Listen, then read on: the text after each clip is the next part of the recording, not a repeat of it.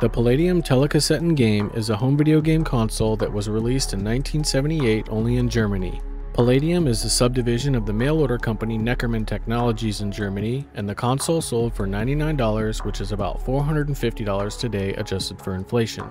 The console features a black housing with 10 selection switches on it, making it possible to choose between up to 10 different game modes for various games. There were also three buttons on the console to change game options, and there are two different versions of the console known to exist, the 530 and the 581.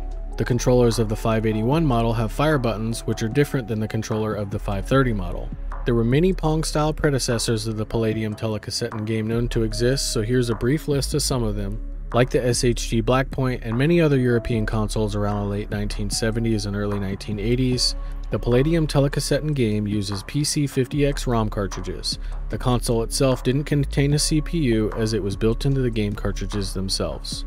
There were four games included in the system Auto Race, Telebowling, 10 Ball Games, and Motorcycle Race. There were also seven cartridge games released, and they are all classic games built on General Instruments chips like Cycling, Motorcycle Race, Car Racing, Submarine, and Super Wipeout. These, of course, are the generic English titles, the real names being in German. Like the SHG Blackpoint, there was also a tank battle cartridge sold that required digital controllers as opposed to the analog joystick controllers that came with the system.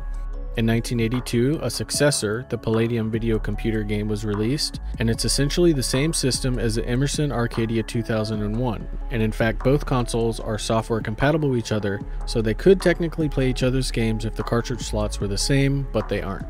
The video computer game came with two detachable controllers that featured a screw on analog joystick and a 16 button keypad. Small plastic overlays were included with each game explaining the functions of the different keys when placed over the keypads, just like with Mattel's Intellivision. Due to the fact that there were so many different variations of the Palladium game consoles made, exact sales numbers are unknown, but being that they were produced in such large numbers, they can still be found quite easily all across Europe almost 50 years later. This video was a segment from my iceberg documentary on every single video game console ever made, so if you're into that sort of thing, you should definitely go check it out. You can follow me on all social media at iceberg docs. Like, subscribe, click the links in the description. Thanks for watching, and I'll see you in the next one.